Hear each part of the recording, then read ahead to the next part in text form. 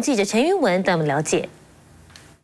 好，来看到是现在美国联准会呢，在台湾时间今天半夜的时候呢，是再度的宣布升息了，已经是今年的五度升息，而且是第三度升息三码。所以就来看到是现在呢，美国的这个基准利率呢，是来到是百分之三到百分之三点二五，而且今年已经一共是升息了十二码，可说是呢创下是一九八一年以来最大密集的升息的幅度。目标就是希望呢，可以来遏制这个涨价的幅度压。一通膨，希望整个通膨率可以回到大约百分之二的这样的数字。不过，居然看到是现在也推估说，这个美国升息的这个循环可能会一直到明年底为止，也就是说，二零二四年之前都不大可能会有降息的状况，因为现在目标是要来到是利率呢是要上看是百分之四点六，但是来看到是美国的一直在升息，但是这个降通膨似乎成效是还蛮有限的，所以呢，有专家是说，希望政府可以。透过是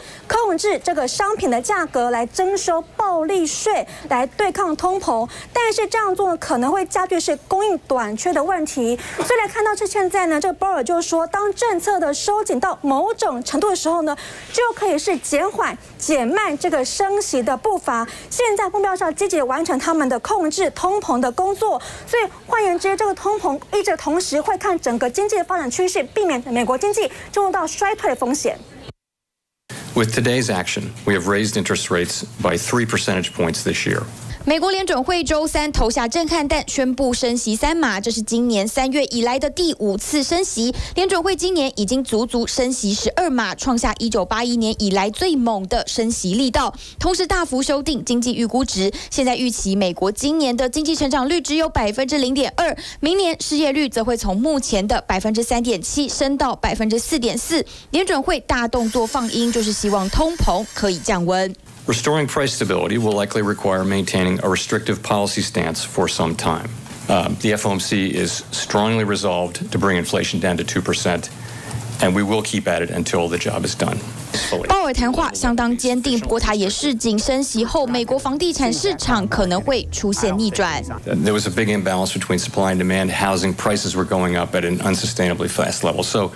the deceleration in housing prices that we're seeing should help bring sort of prices more closely in line with rents and other housing market fundamentals. 尽管鲍尔点出房市将历经修正，但升息政策不变。美元指数周三晋升二十年新高，盘中甚至一度冲破一百一十一。美股四大指数尾盘则急杀，中场全面收黑。其中道琼重挫超过五百点，标普五百和纳指也跌超过百分之一点七，费半跌近百分之一。投资人预期到二 零二四年前，联总会持续升息的步调恐怕不会放缓。TVB 新闻综合报道。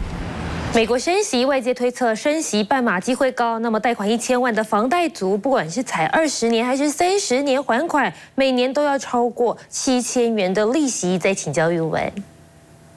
好，来看到是现在美国升息之后呢，台湾的我们央行的联准会此刻呢是正在召开这个里监事会议，预估呢会在大约是下午四点半左右召开记者会，宣布是否会再度的升息。不过目前看来，整个预估是说可能再升半码的几率是蛮高的。我们就看到是假设这次真的再升半码的话，那其实以这个首购组的房贷的地板价来换算，会从这个利率是百分之一点六八五，会上升到标。超破百分之一点八一，所以假设你的首购组的房贷是一千万元的话，不管是还款二十年还是三十年，你的利息呢每年都会增加是七千多块钱，大约是每个月会多付是六百多块的利息钱。不过居然看到是为什么大家好像会蛮希望升息呢？好，第一呢就是可以来救股市，或者是抗通膨；再是台美利差不要扩大之下，让这个外汇的外资的汇出呢压力不会增加，以及就是大家希望呢可以借。这个升息让房价可以下降，回归基本面之后呢，不要再乱把这个房价给炒高了。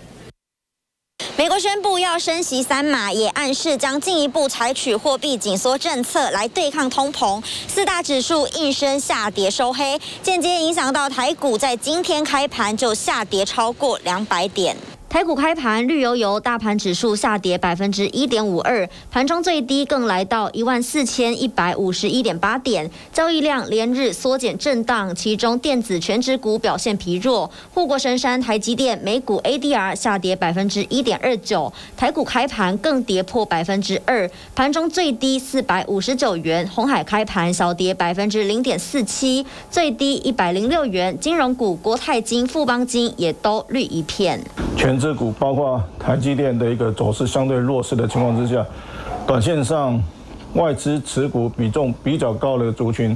可能相对都会受到一定程度的压抑。生技股成为避风港，信辉开盘上涨百分之一点三，旭富上涨百分之一点五五，北极星药业 KY 更因为肺间皮癌新药三期试验解盲成功，亮灯涨停。观光类股则受惠边境松绑风声，金华上涨百分之五点八五，雄狮上涨百分之七点五六。分析师就认为，纵观来看，美股台股皆已先跌，短线上有可能迎来一波反弹。即便是联准会对于下一次的升息仍然保持一样的看法，那台北股市不排除在这一次也有可能复制上七月初那一次的一个反弹，那只是反弹的幅度以及所谓反弹的强势族群在哪里，我们还要持续观察。外界预估央行这回很可能跟晋升半码，专家指出，因为半码在市场预期内，台股不会受到太大影响。不过加上这半码今年以来就升息两码了，以贷款一千万元房贷来举例，一年得多付超过二点八万元利息。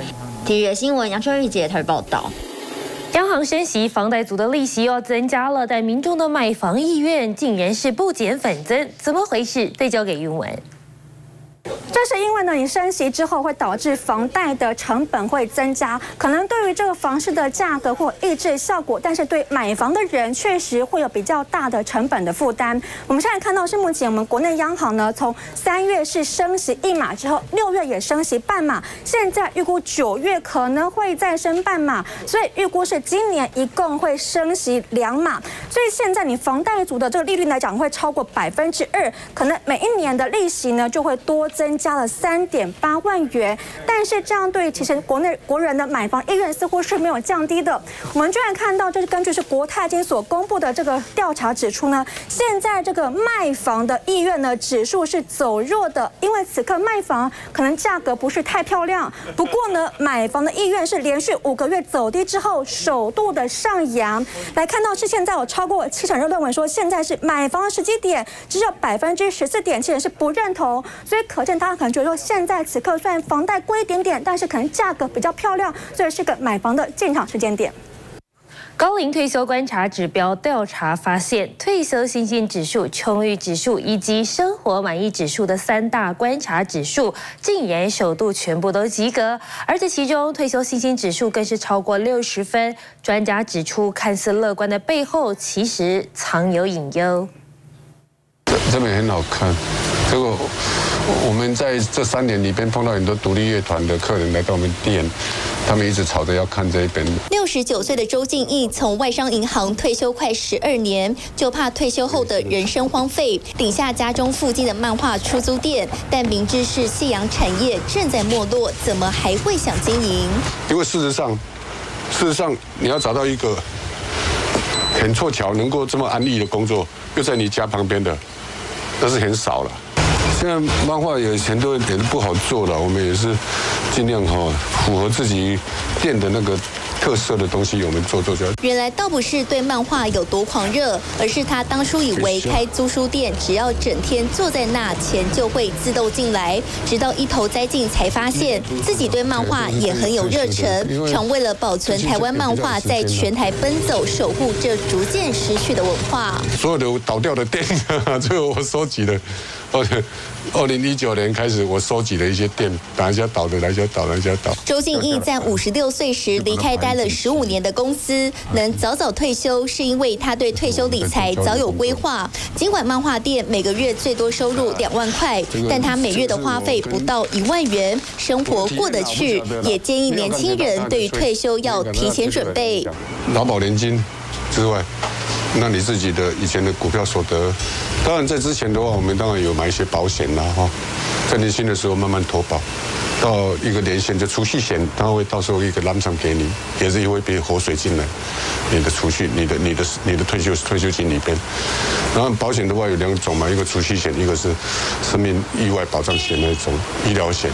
那两种当然都是要做了。呢，他退休金准备充裕，可以安稳的过退休生活。但其实现在有越来越多人实际退休后才发现退休金根本不够用，尤其在高通膨、低利率时代，还有劳保年金的改革下，未退族普遍认为会比上一代更晚退休，而且在退休准备上会更加吃力。只是退休金到底要准备多少才够用？寿险公司就以退休后余命二十年来计算，日常开销约五百万，医疗费用两百八十万元左右。而若以国人平均长照需求七点三年来计算，也要准备约两百五十万元，算下来保守估计至少要一千万以上的财富老本。依照主计处的调查，现在平均每年每个月的生活消费大概是二点三万，所以假设二十年的话，你大概要准备五百五十万的一个基本的日常生活的消费。那以老年人现在六十岁以上的一个医疗费用，大概是平均。全民的大概三到四倍，也就是说每个月大概花一点二万的医疗费用，那这样算一算，大概也要两百八十万的一个医疗费用。所以，我们觉得这三个存粮加起来，将近是快一千一百万的一个费用，也是要提早做好准备的。高通膨以及年金改革的意涵，代表的是年轻族群对未来退休准备的金额必须大幅的提升。那低利率代表的意涵是投资过程中想要获得高额的投资报酬率。那困难度也是提升，所以也就是说，对年轻的劳工来讲，他面对未来退休的时候，必须准备更高额的退休金。可是，在投资累积的过程中，想获得高额的报酬率，却是。越来越高，难度越来越高。寿险公司与正大商学院做的高龄退休观察指标发现，退休生活满意指数从去年的八十一分下滑到七十六分，退休充裕指数则与去年相同。至于退休信心指数首次超过六十分，勉强及格。劳工朋友对未来的退休好像是显得更有信心，可是实际上，劳保的财务压力。健保的医疗费用以及长照的医疗费用跟财务压力都逐年的提升，这让劳工朋友在准备退休。做退休准备的时候，难度也越来越高。比如说，年轻小资族的时候，他可能强调退休时间还长，找寻一些可能是比较长期投资，呃，一些比较积极的投资标的。即将退休的族群，他可能累积一些财富了，那他可能呃也没时间去管太多一个投资标的，那他可以交给专家来做投资。未退族在退休准备上要更积极，提前布局，不要轻忽风险，等到五十岁后才开始规划，恐怕就会发现为时已晚。TVBS 新闻陈建明、刘彦轩台北。您现在收看的是。